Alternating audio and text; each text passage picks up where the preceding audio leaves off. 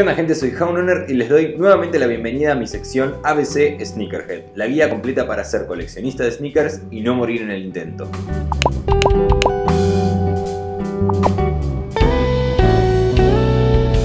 En esta Data Express vamos a estar hablando sobre las collabs.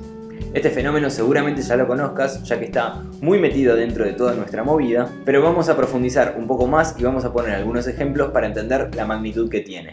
Arranquemos por la definición del diccionario. Una colaboración es la acción de llevar a cabo un proyecto en conjunto, pero también se refiere a algo que ya fue hecho entre dos partes o más.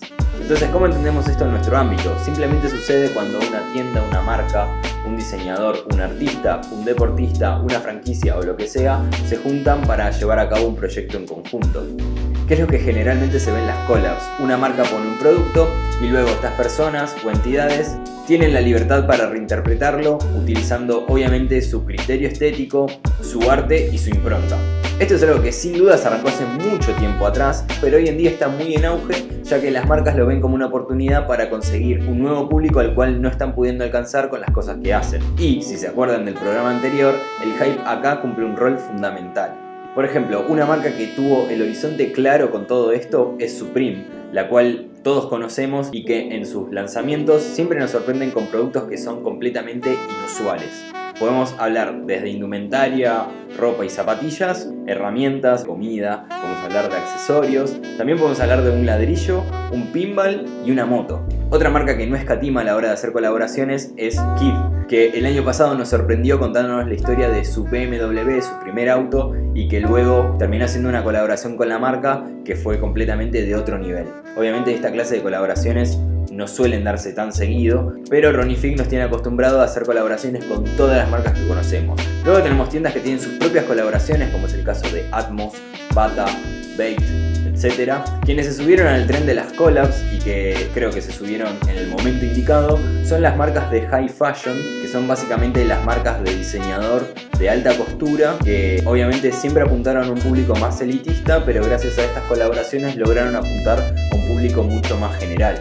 Esto no quiere decir que todo el mundo tenga la oportunidad de poder conseguir alguna de estas piezas, pero vamos a destacar pueden ser la de Louis Vuitton con Supreme, que del año 2017. También tenemos la colaboración entre Jordan y Dior, como también tenemos la de Adidas y Prada, o mismo podemos mencionar la collab que tiene Off-White con Nike, mencionando The Ten, que fue la primera, y obviamente los sucesivos lanzamientos de calzado que fueron teniendo. Si tocamos el tema música, que es de lo que va el programa número 2 del Late Night Show, yo me separé dos casos súper icónicos porque a mi criterio son los más importantes o los que hoy por hoy están en boca de todos. Estoy hablando de Kanye West y de Travis Scott. Kanye en sus inicios fue muy disruptivo a la hora de vestirse y hoy obviamente es un icono en la moda.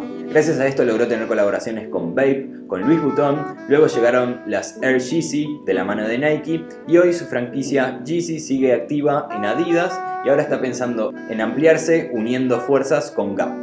Por otro lado, Travis logró instaurar su estética de colores marrones a través de la indumentaria con las colaboraciones con, por ejemplo, Jordan que también se ven presentes en varios de los merch que fue lanzando. Pero no conforme, lo llevó a otro nivel y terminó colaborando con McDonald's, también con PlayStation y hasta tuvo su propio skin dentro del universo virtual de Fortnite. Y si todo esto no es suficiente, tengo algunas cosas más para mencionarle. Por ejemplo, hay indumentaria de Pornhub, el sitio para adultos o también de Playboy. Para los nostálgicos también hay muchas colaboraciones de dibujitos animados. Para los otakus también tenemos varias colecciones con ciertos animes como por ejemplo Naruto Pokémon, Dragon Ball Z, artistas como Futura o como Stash que tienen su propio calzado en Nike. Y también podemos mencionar a COS que no solo tiene un par de Jordan, sino que ha logrado colaborar con Dior en uno de sus desfiles con una estatua gigante. Podría seguir enumerando hasta mañana ya que hay para todos los gustos y colores y las posibilidades dentro del mundo de las collabs son infinitas. Afortunadamente estos crossovers van a seguir apareciendo y lejos de aburrirnos la verdad que es una muy buena oportunidad para que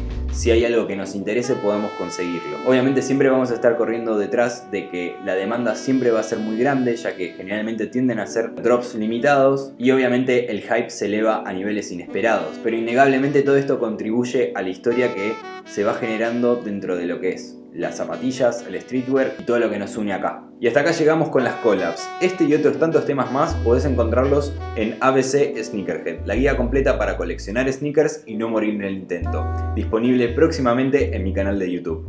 Soy Jaunoner y nos vemos en la próxima Data Express.